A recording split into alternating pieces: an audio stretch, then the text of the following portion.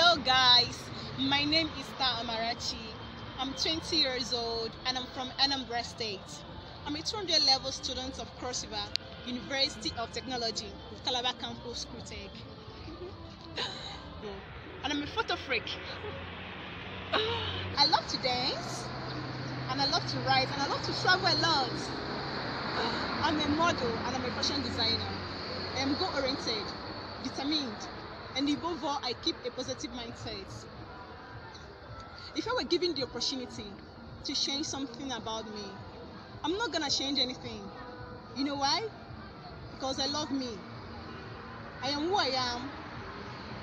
For me, every day is an endeavor to do better than yesterday. I fought today and I rest tomorrow. I accept my weakness. I accept my strength and I'm working on to perfection. I love who I am. I am star and I'm gonna shine. Start the world. See me.